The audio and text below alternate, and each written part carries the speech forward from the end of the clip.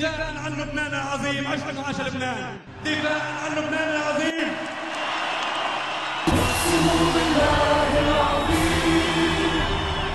مسلمين ومسيحيين أن نبقى موحدين.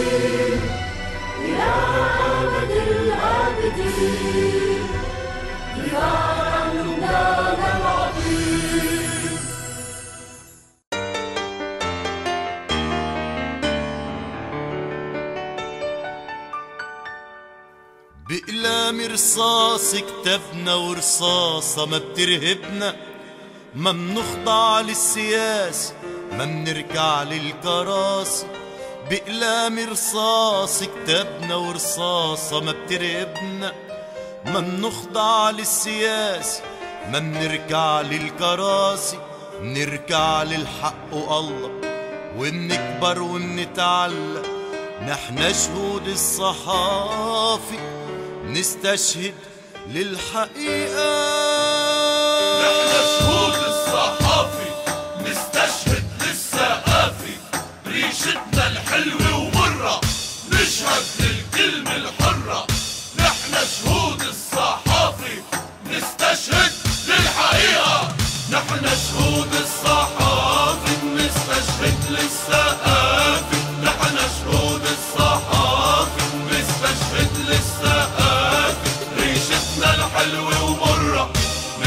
نشهد للكلمة الحرة. نحن شهود الصحافي نستشهد للحقيقة. نحن شهود الصحافي نستشهد للثقافي نحن شهود الصحافي نستشهد للثقافي ريشتنا الحلوة ومرة. نشهد للكلمة الحرة. نحن شهود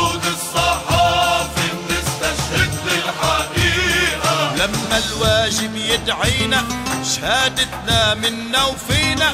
نحن شهود الصحافي بنستشهد للحقيقة. في قرار سياسي متخذ القرار السياسي بتتخذه دولة مستقلة بتقول حان الوقت إنه ما يعود في ميليشيات بقى بلبنان حان الوقت إنه الفلسطينيين ما بدنا سلاح لأنه أصلا الفلسطينيين مش دورهم بقى المخيمات إنه يحرروا فلسطين، فلسطين في عندها سلطة شرعية بتمثلها ولذلك نحن بنعرف كيف تمثل الأمور، ثانيا وحدتنا هي حصانتنا.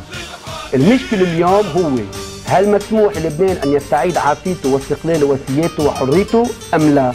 هل بدنا ننتقل من دولة يلي هي خاضعة للوصاية الخارجية دولة مستقلة تقرر عن نفسها ما تريد أم لا؟ هذا الحوار إذا بده يجري فيجري بده يكون حول انسحاب دولة الوصاية من لبنان وقيام دولة حرة مستقلة كل ما تهجرنا منولد كل ما تفجرنا منحافظ عالرسالة من ضحي الدم الغالي.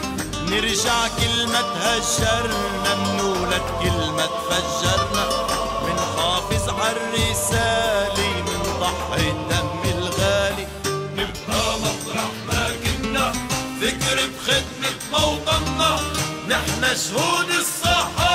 بنستشهد للحقيقة وحدة الشعب تقطع الطريق نهائيا أمام كل هالأقاويل الساقطة يلي عم تجرب وما زالت عم تجرب تقول إنه في انقسام داخل الشعب اللبناني وعند المواطنين اللبنانيين.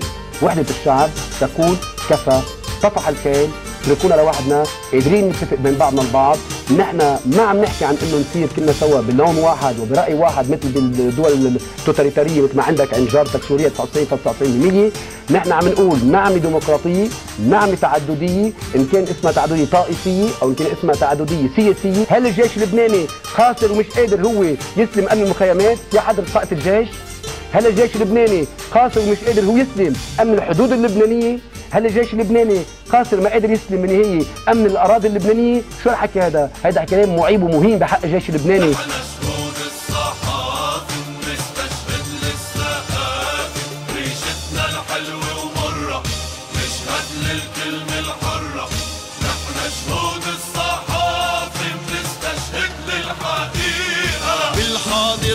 بالماضي نتحدى السيف الماضي نحن شهود الصحافة استشهد للحقيقة.